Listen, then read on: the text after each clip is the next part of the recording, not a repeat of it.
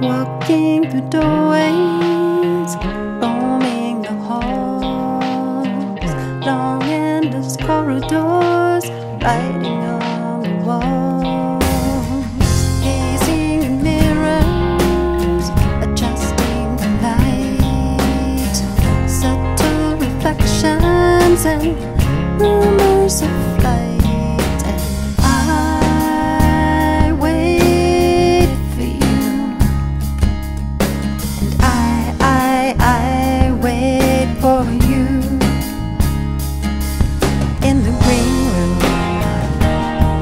so patiently